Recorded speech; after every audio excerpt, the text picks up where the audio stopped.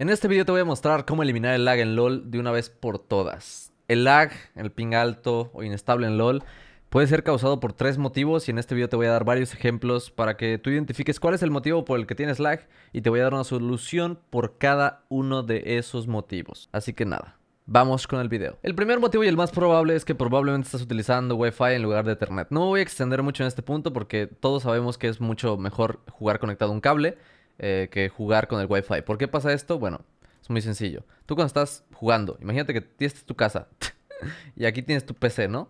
Está en el cuarto de arriba. Y el modem, pues está abajo.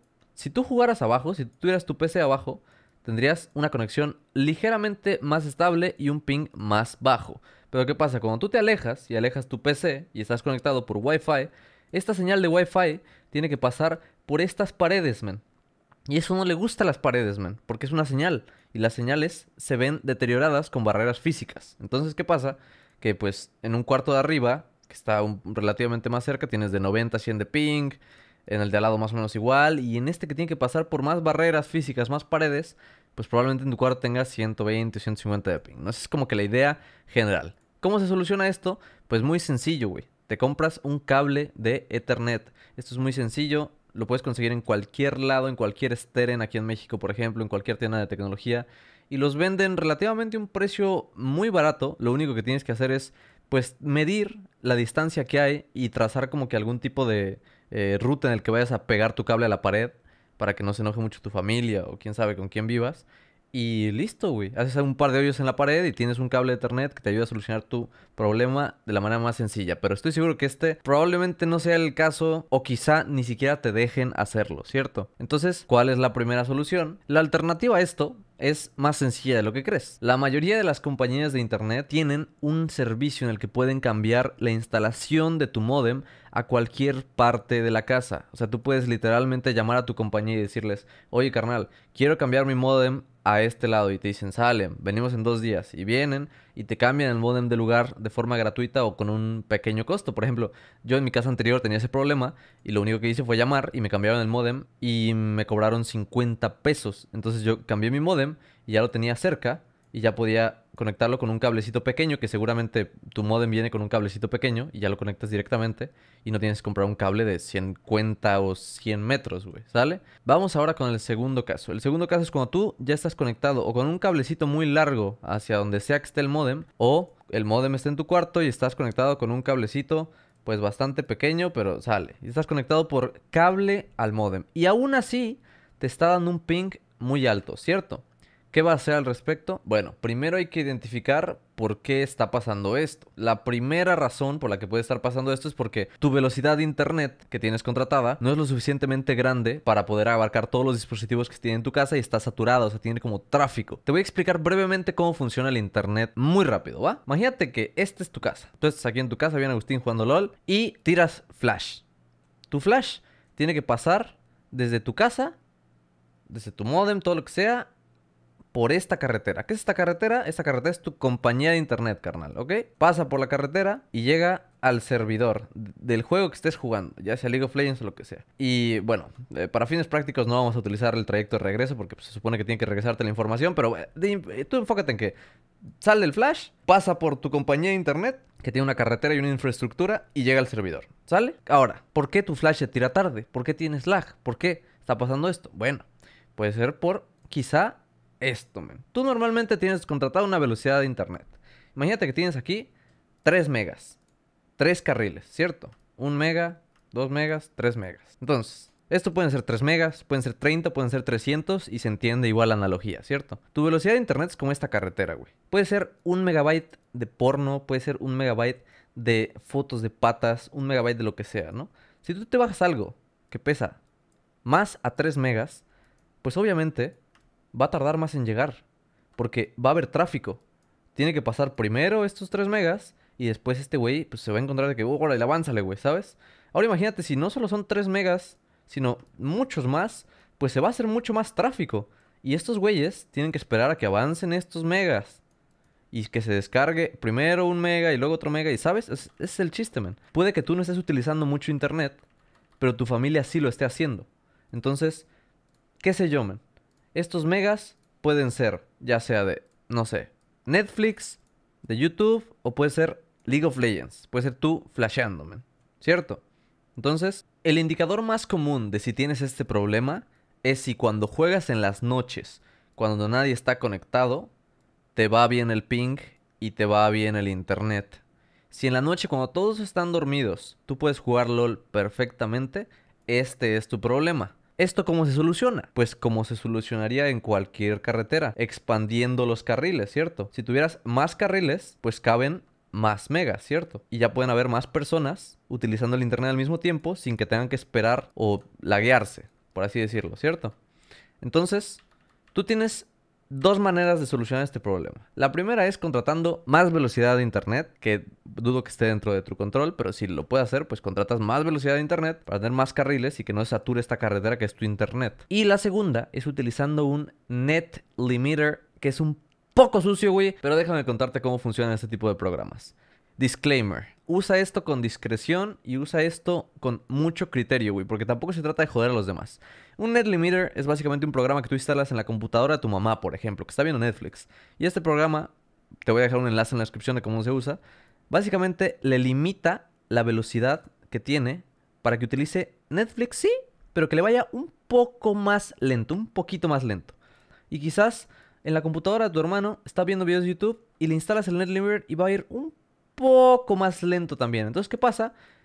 Que tienes ahora tu más espacio, ¿cierto? Estos güeyes ya te están utilizando menos ancho de banda y ahora tú tienes más espacio para que no se sature la carretera y puedas transitar libremente y no tener lag. El lag básicamente ocurre cuando se satura la carretera. Cuando tú tienes la carretera libre, mm, en teoría no deberías tener lag, a menos que sea otro problema que vamos a mencionar más tarde. Pero cuando se satura es cuando empieza el lag. Aquí es como que, ¡ay, güey! Aquí ya empieza el lag, ¿cierto? Entonces, voy a dejar un enlace en la descripción para un video que te explica más o menos cómo utilizar este programa. Tú verás si utilizas este programa o si simplemente contratas un poco más de velocidad de internet para que todos estén más contentos. Pero si aunque sea de noche y nadie esté viendo Netflix ni esté viendo YouTube, aún así estás conectado por cable al router y aún así te va mal el ping, el siguiente inconveniente es el único y el que a mí en lo personal fue el que más me afectó. Yo llevaba más de un año sin tener problemas con mi ping en LOL. Estoy conectado por cable, tengo contratados 300 megas, entonces tengo espacio en mi carretera de sobra.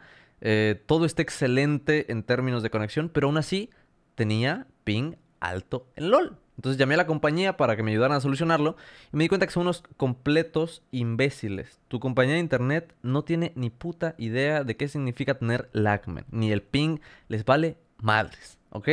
Entonces me dediqué a investigar yo mismo cómo poder solucionarlo, ¿no? Porque tenía buen ancho de banda, tengo buena conexión, tengo un paquete muy bueno, todo está excelente, pero aún así tengo lag, no tiene sentido. Y me di cuenta que la solución estaba más cerca de lo que creía, güey. Hace unos meses una compañía me invitó a promocionar un producto que se llama Exit Lag, ¿cierto? Y yo dije, ¿qué es esta chingadera? ¿Qué es Exit Lag? Bueno, pues Exit Lag se supone que es un programa que te ayuda a tener menos lag. Yo no entendía muy bien qué pedo, pero lo probé y me funcionó, güey. ¿Por qué me funcionó? Bueno, me puse a investigar por qué me funcionó y entendí perfectamente cuál era mi problema. Vamos a regresar al ejemplo. Tú estás en tu casa y tiras tu flash. Tu flash tiene que pasar por la carretera que es todos los servidores, toda la infraestructura que tiene tu compañía de internet, ¿cierto? Y de ahí llega al servidor de LOL. Ahora, el tiempo que tarda en recorrer esta carretera, tu flash, se mide en milisegundos, ¿ok? ¿Cuántos milisegundos tarda en recorrer esto? Es tu ping. Tu ping te dice 100 ms. Esos son milisegundos y es el tiempo que tarda en recorrer esta carretera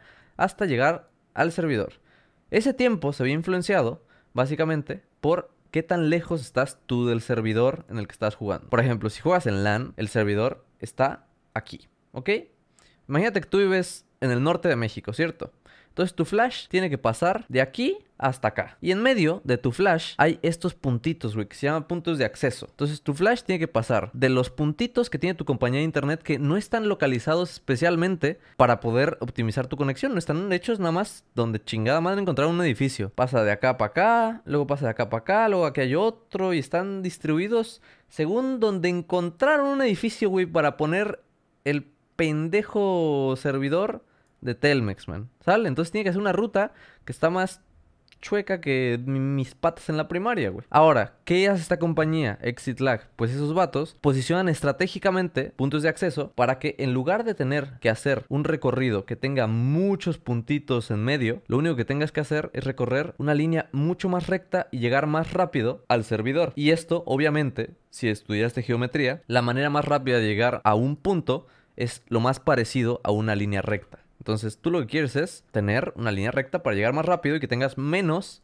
milisegundos, menos ping. Y si tienes que tomar fucking 35 puntos de acceso, pues obviamente vas a tardar más en llegar, ¿cierto? Eso es lo que pasa. No solo tienen servidores en Latinoamérica Norte, también tienen en todo el mundo, güey. Tienen LAS también. Si tú no sé, güey, en fucking Uruguay, en lugar de hacer este fucking trayecto, que son los servidores que tienen normalmente las compañías, haces una línea mucho más recta y tienes menos ping. Así de sencillo, güey. Y si no me crees, te lo voy a demostrar en vivo y en directo sin ningún corte, ¿ok? Yo acabo de entrar en una partida en la herramienta práctica y tengo 90, 91 de ping, ¿no? Y estoy aquí, se siente lagueado, hay como pérdida de paquetes. ¿Ves esos saltos que hay? No estoy seguro si eso es del juego, del internet, pero no sé, se siente feo, yo lo siento lagueado, me tarda en reaccionar. No, no, no. Muchos me dirán, yo estoy acostumbrado a jugar con más ping, pero bueno, me vale madre. Yo no estoy acostumbrado y se siente feo, me siento mal, me siento, no estoy a gusto. Entonces, ¿qué hago? Abro aquí, exit lag, le doy, prendo esta madre con un fucking click, güey. Se conecta. Ahorita no voy a poder moverme probablemente en lo que se conecta esta cosa. Listo. Y, no sé, pongo aquí por ejemplo un bot y quiero hacer de que me pongo la energía y me siento flawless, men, neta, te lo juro, güey, me siento es excelente, men. Va perfecto, güey. Ya no hay esos saltos, ya no hay esa cosita, ya no hay esa mierda. Fíjate, ya no hay nada. Todo está excelente. Y yo no te lo voy a vender acá como que si fuera un producto del milagro. La neta, probablemente si tienes alguno de los problemas anteriores y no lo solucionas, esto no te va a servir de nada. Así, de nada. Pero no pierdes nada con probarlo, güey. Tiene una prueba gratis de tres días sin tarjeta de crédito, sin nada. No tienes que pagar nada, güey, para probarlo. O sea, tú entras al link de abajo y es gratis probarlo por tres días, güey. Como mínimo vas a tener tres días gratis en los que vas a poder jugar sin lag, güey. Y la suscripción cuesta menos que una suscripción a Netflix, man. Creo que cuesta como 6 dólares al mes. Entonces, no mames, güey. Literal, eliges, pagas Netflix o, o no tienes lag, man. O sea, literal, no hay chance. Obviamente este es un video patrocinado, pero me vale madres que me digan vendido o lo que sea. Güey, literal es un producto que a mí me funciona y que estoy orgullosísimo de que me patrocine y que me pague por hacer este video. Porque realmente me funciona y yo lo uso todos los perros días, güey. Entonces, nada, pruébalo gratis sin tarjeta de crédito por tres días sin nada. Nada más con tu fucking correo, güey. Eh, y si te animas a suscribirte a Exit Lab, pues utiliza el código el Pister, que te da un 20% de descuento en el checkout. Y nada, güey, vale como 6 dólares, creo. O sea, no mames, güey. Pagas el OnlyFans de morras para ver sus patas, no vas a pagar esta madre. Pero bueno, yo entiendo, o sea, no todas las situaciones económicas son similares. Así que voy a sortear 20 licencias de Exit Lag, totalmente gratis.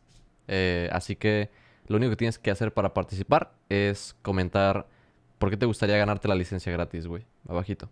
Y nada. Gracias por ver el video, amigo. Te mando un abrazo. Bye bye.